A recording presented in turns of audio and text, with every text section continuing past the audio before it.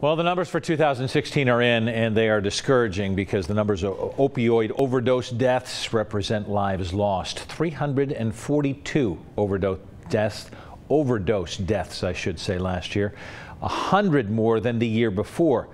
County leaders trying to find answers stood together today. Local 12's Deborah Dixon says that they were both frustrated and more determined.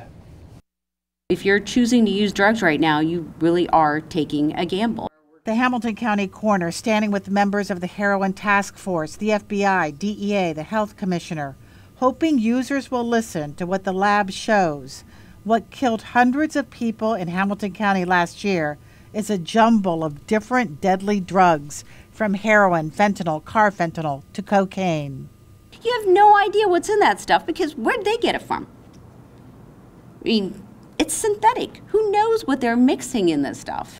Warning addicts doesn't seem to be working. The Hamilton County Health Commissioner says that's because it's a disease.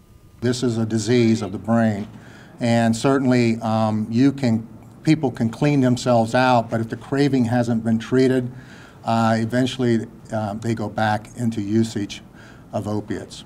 So far this year, 1,400 people in our area have been treated in emergency rooms for overdoses. One proposal has emergency rooms partnering with recovery centers to get these overdose patients help right away. So many ideas that could work come back to finding money for them. At 6 on Local 12, I'll tell you about something that's making a difference right now. Deborah Dixon, Local 12 News. We have a special Hooked on Heroin section at local12.com. It's helping families coping with heroin epidemic.